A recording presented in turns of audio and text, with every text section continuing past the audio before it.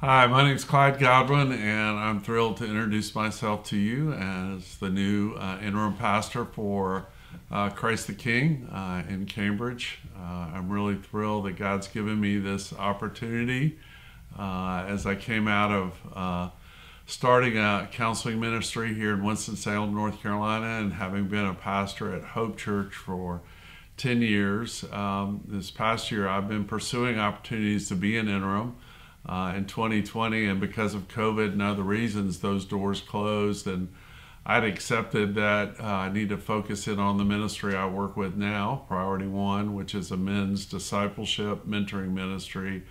That uh, that's what I was called to do here in this area, and uh, and so I accepted that. And then when I got the phone call, the the opportunity uh, to apply, and then to be accepted and called to do this job, I feel like Jesus gave me the desire of my heart, which is to be a pastor who uh, proclaims the good news of great joy, the angel promised, and then who prays, uh, and then who pastors. So the three P's of preaching and uh, praying and pastoring really fit in with who I am and what I love to do. This is my passion. This is my sweet spot.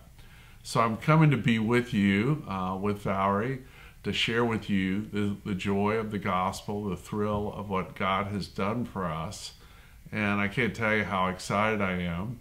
And the plan is is that I will start May 1.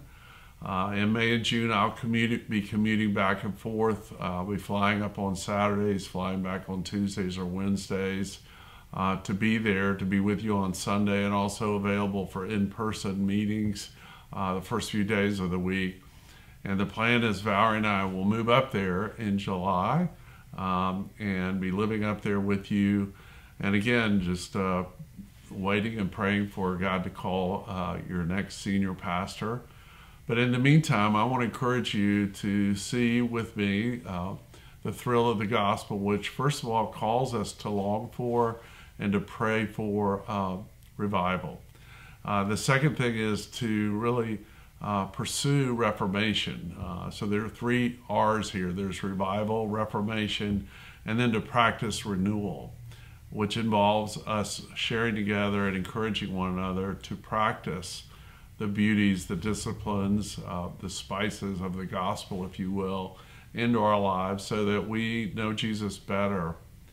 Uh, as I get started and I'm available, uh, I really want to be a part of something that God's doing, which is extraordinary for the whole community and for us as well.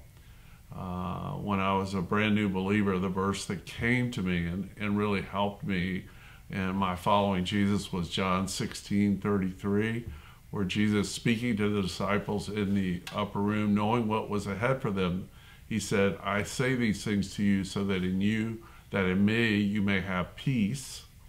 Uh, and then he said, Because you will have tribulation, but take heart, be encouraged, because I've overcome the world for you.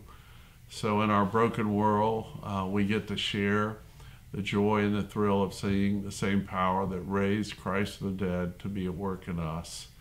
So, I will see you in a week and we'll get started and uh, sharing the life of Christ together there in Cambridge.